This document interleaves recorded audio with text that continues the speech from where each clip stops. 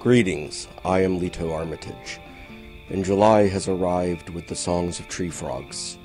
Summer, to me, is the gothic south of sweltering nights, where you feel the hot, sweating breath of the world on your neck, a world of night swimming and shadows made darker by long days. I feel it necessary, first and foremost, to correct some misconceptions that have plagued my quiet passage through June. Despite the persistence of rumors, it is untrue that I was being held in a labor camp outside Moscow after being captured with books stolen from the KGB archives. That is absurd, as that occurred back in the 90s and is not germane to current events. Today I am a humble man who spends his days lost in books, though June found me part of two cultural experiences. One was COVID 19, and the other found me at the steps of the Supreme Court of the United States protesting a landmark ruling. Both of these experiences I could have done without, but one happened to me, and one I felt compelled to stand up for. Yes, I believe in punching fascists no matter what flag they try to hide behind. As July broke, my friends lifted me up and did much of the labor of getting 1,000 cranes ready for publishing.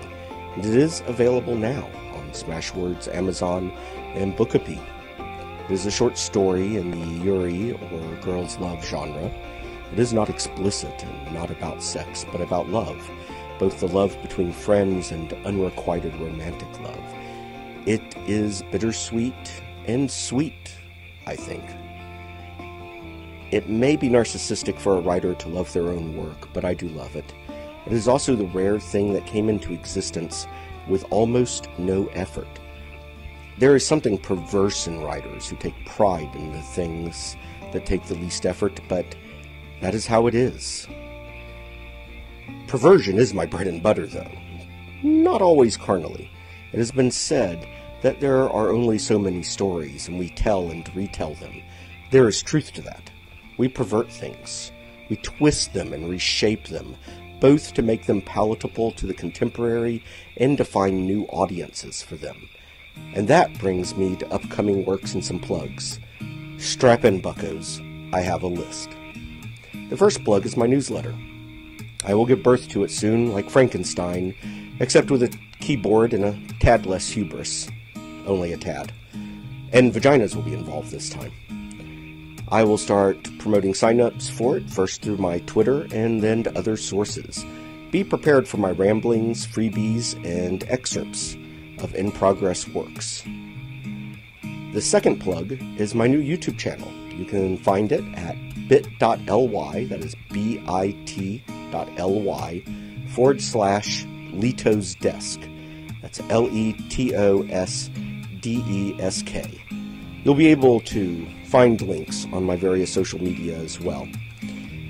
There I will talk about writing, gaming, and eventually I hope to branch into cooking.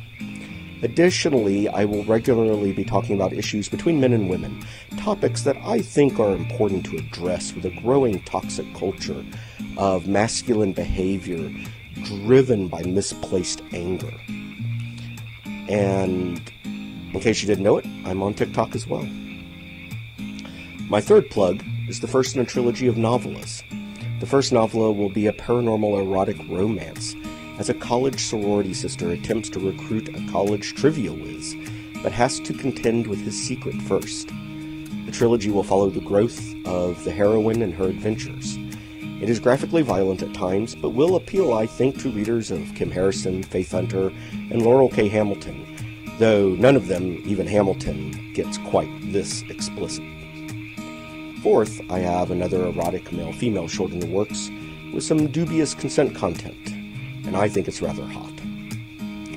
My affection for Yuri doesn't end with cranes, though, and I'm already working on a second short story, this time set in 1970 in the English countryside. A young woman from New York inherits an estate from the uncle she didn't know she had.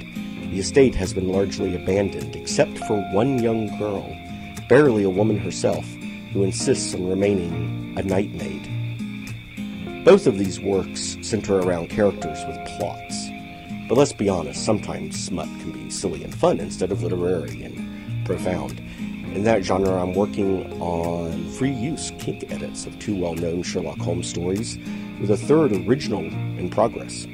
The edits will be given away to newsletter subscribers first before being made more widely available.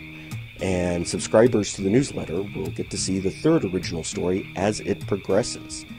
And finally, a fun and silly Sapphica piece set upon the high seas using tropes familiar to fans of tabletop role playing games such as Dungeons and Dragons or Pathfinder.